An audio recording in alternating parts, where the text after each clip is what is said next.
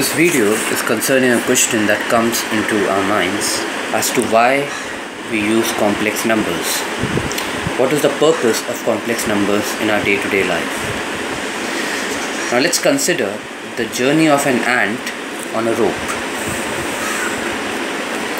If the ant is moving forward, let's say its velocity can be plotted as plus 5. It can be plus 5 centimeters per second, so on. And if an ant is moving backwards, we can write its velocity as minus 5. So it is similar to plotting things on a number line.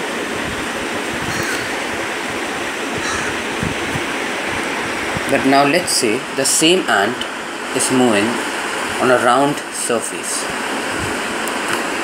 Now its velocity has got as if two components. It's moving forward as well as upwards. Its velocity has got a horizontal component and a vertical component. So how do we now write the velocity of this ant? It can be written as 3 plus 4i. So what is the actual velocity of the ant? The actual magnitude that is calculated as root of 3 square plus 4 square which comes to 5 again. In this case also the actual velocity